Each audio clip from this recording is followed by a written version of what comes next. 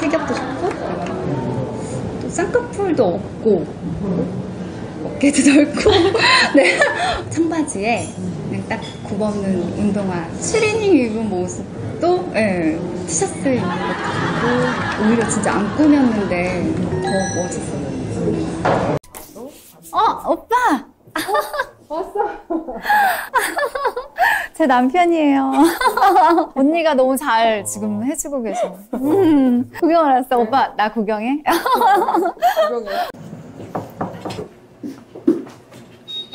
하나, 둘, 셋, 넷, 다섯, 여섯. 응, 여섯 줄. 여섯 개인데 응. 이거 봐봐. 그거는 음, 내가 먹을게. 제일 조그만 거. 이거는 그거는 오빠 줄게.